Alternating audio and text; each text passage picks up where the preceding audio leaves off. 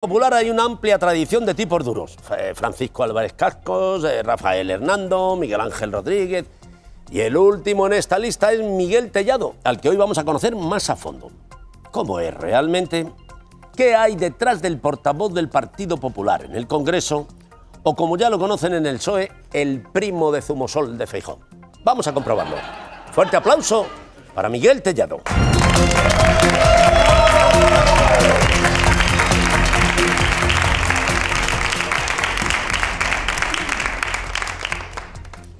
Buenas noches, señor. eh, te- te- te- te- ¿Qué, qué tal está?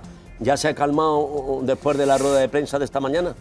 Porque se ha despachado a gusto con el gobierno, ¿eh? ¿Que, que si se me ha pasado? gobierno para Rato, dicen. Pues ojalá, pero gobierno para Rodrigo Rato. Él sí que sería capaz de sacar los presupuestos adelante. Con Sánchez no son presupuestos, como mucho, supuestos. ¿Ha visto cómo hago magia con las palabras? Que sí lo ha visto. Eh, eh, ¡Que te estoy hablando! Que- ¡Que me contestes cuando te hablo! eh, que, que no me mire usted así, que no vamos a hablar de política, hombre. Aunque mm, por si sale el tema, pues he venido protegido. Mm, Me he traído un casco, pero me lo he dejado en la moto candado. Por ejemplo, usted en su día eh, es tan ocurrente como en el Congreso, porque le hemos visto intervenciones tan brillantes como, como estas. Mire. La verdad es que viendo las caras de los miembros del gobierno, cualquiera diría que se les ha muerto el gato. Pedro Sánchez se ha batasunizado y se ha podemizado. Se ha bolivarizado. No es ni ético ni estético, yo creo que es patético.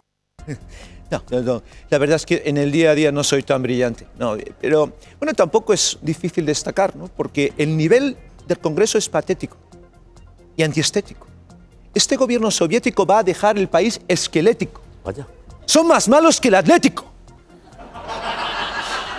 Perdón, igual estoy siendo demasiado energético. Eh, si quieres se lo repito y se lo digo en orden alfabético. Bueno, al fin.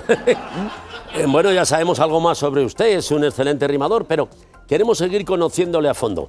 Cuéntenos, ¿qué hay detrás del pitbull de F, hijo? ¿Un adorable caniche o un pitbull todavía más grande y enfadado?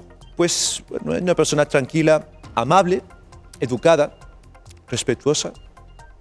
Pero tú vuelves a compararme con un perro y las palizas que le meto al gobierno te van a parecer un masaje al lado de lo que te voy a hacer a ti.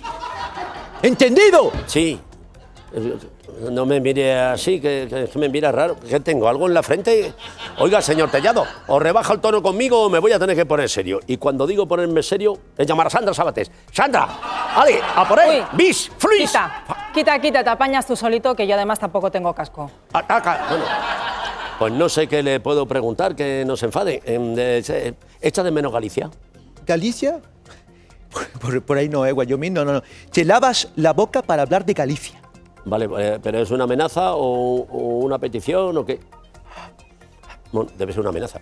Bueno, entonces dígame, yo qué sé, ¿cuál es su color favorito? ¡Rojo! Vaya, qué sorpresa. No, no, Yo- no, no, no, no, no. Si te estaba insultando. Ese. no. Mi color favorito es el verde, que es como me gusta poner a los socialistas. Bueno, señor Tellado, pues no tenemos tiempo para más. No, no, no. Porque- ¿Me, me estás echando?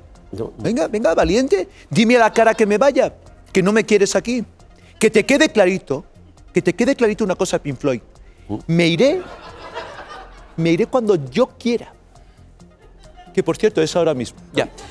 Sí, es que me tengo que ir a boxeo a preparar la rueda de prensa de mañana, ¿eh?